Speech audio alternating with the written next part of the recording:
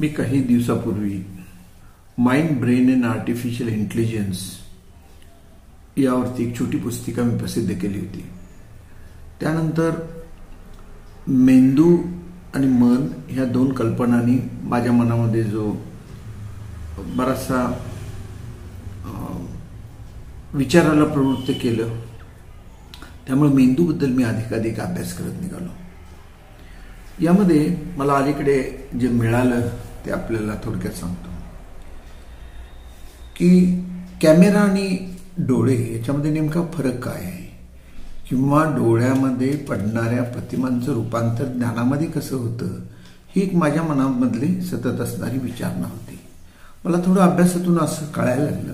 त्यातून एक उदाहरण मला असं मिळालं की माईक मे या मुलाची वयाच्या साडेतीन वर्षाचा असतानाच त्याची दृष्टी गेली. त्याच्या डोळ्याच्या कॉर्लिनियॉनवर रासायनिक स्फोटाने डाग पडले होते. तो पुरता अंध बनला. अंध माणूस असूनही तो यशस्वी व्यावसायिक बनला. पॅरा ऑलिम्पिकमध्ये तो चॅम्पियन ठरला. आवाजाच्या खुणाद्वारे त्याने डोंगराच्या उतारावरून बर्फात स्केटिंग केले. अशा रीतीने चाळीस वर्षे अंध व्यक्ती म्हणून तो आनंदातही जगला.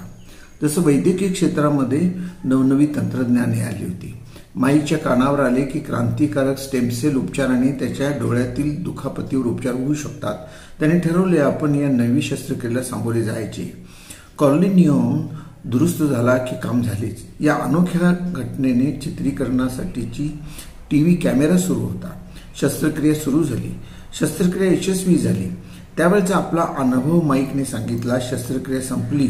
डोळा उघडला आणि बाहेरच्या प्रतिमांचा पाऊसच माझ्यावर सुरू झाला.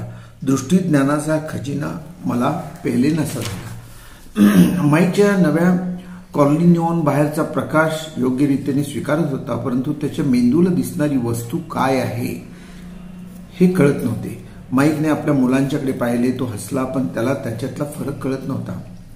कोणाला कोण समजायचे हे कळत नव्हते. फेस रेकग्निशन होत नव्हते.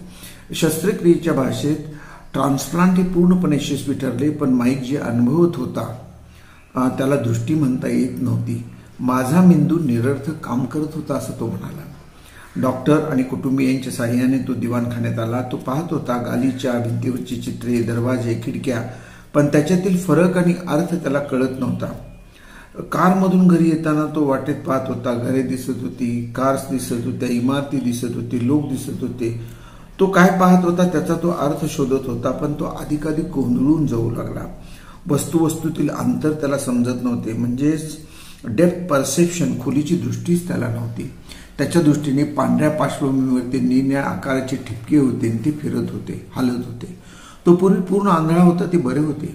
आवाज स्पर्श गंध यांच्या साह्याने तो व्यवस्थित समजत होता जीवन जगत होता पण आता सारा गोंधळच याचाच अर्थ असा होता की डोळा आणि कॅमेरा यात महदंतर आहे. दृष्टी म्हणजे अनेक संवेदनांचा स्वरमेळ. त्यामुळेच ज्ञान होते अर्थ कळतो. शस्त्रक्रियेनंतर पंधरा वर्ष होऊन गेली.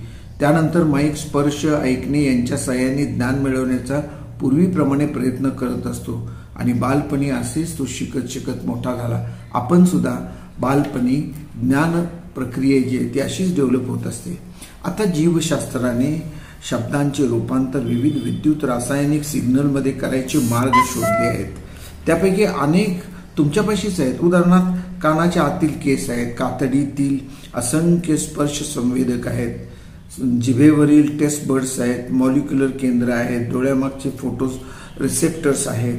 बाह्य सभोवतालापासून येणाऱ्या संवेदना विद्युत रासायनिक सिग्नलमध्ये रूपांतर होऊन मेंदूत एकत्र होतात. प्रत्येक इंद्रिय येणाऱ्या संवेदना विद्युत रासायनिक संकेतात बदलतात. मेंदू खऱ्या अर्थाने कॉस्मोपॉलिटियन सर्व समावेशक म्हणायला हवा. विविध स्तोत्रातून येणाऱ्या साऱ्या पाहुण्यांचं तो स्वागत करतो. मज्जाशास्त्रापुढचा गहन न सुटलेला प्रश्न म्हणजे या साऱ्या संवेदना संकेत यांचा एकत्रित कोण आणि कसे बांधतो? आणि त्यातूनच ज्ञानाची निर्मिती होत असते. त्यामुळं मानवाची ज्ञान प्रक्रिया ही मनावर अवलंबून असून मेंदूच्या रचनेवर आणि मेंदूच्या रासायनिक प्रक्रियेवर अवलंबून आहे असं माझं थोडक्यात म्हणणं आहे. आणि म्हणून मी जे त्या पुस्तकात लिहिलेले ते पुन्हा सांगतो की mind doesn't exist mind is a hypothesis even doctor Sigmund Freud agrees with it आणि सिगमन फ्रॉईडचा खऱ्या अर्थाने जर म्हणाल तर सेकंड दुसऱ्या महायुद्धाच्या दरम्यान अनेक जे मनोरुग्ण होते त्यांच्या मदतीसाठी त्यांनी शोधलेलं शास्त्र होतं. मला काही वेळा असं वाटतं की कोरोनाने भयग्रस्त झालेल्या लोकांच्यासाठी असंच हे शोधायला हवं.